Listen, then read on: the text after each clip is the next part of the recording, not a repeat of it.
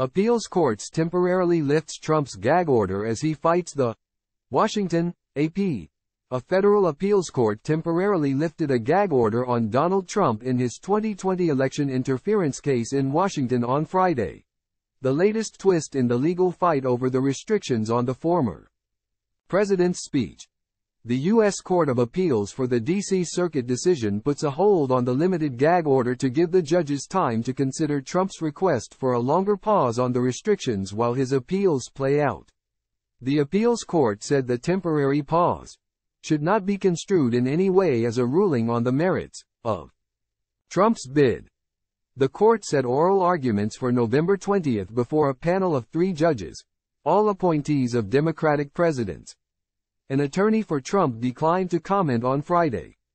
The gag order, imposed by U.S. District Judge Tanya Chutkan, bars Trump from making public statements targeting prosecutors, court staff and potential witnesses in the case accusing him of conspiring to overturn the 2020 election he lost to President Joe Biden.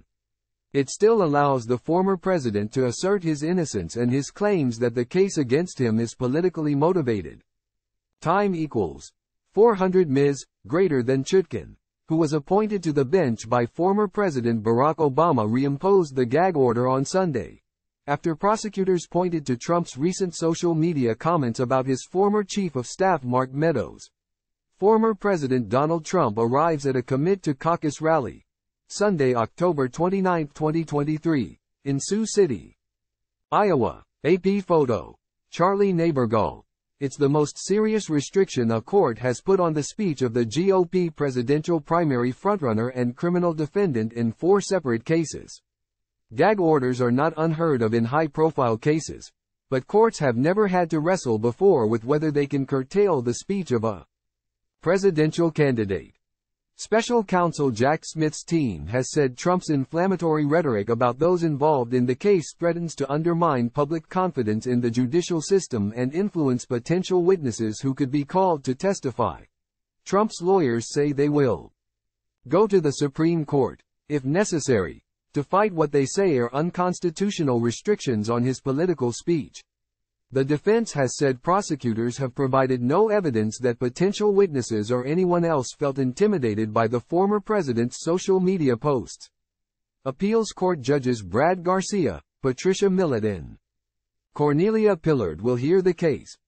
Garcia is a former Justice Department official who clerked for Supreme Court Justice Elena Kagan and was appointed to the bench last May by Biden.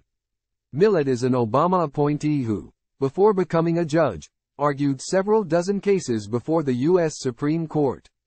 Pillard was appointed to the court by Obama after serving as a Justice Department lawyer and professor at Georgetown University's law school. The appeals court could ultimately uphold the gag order or find that the restrictions imposed by Chutkan went too far.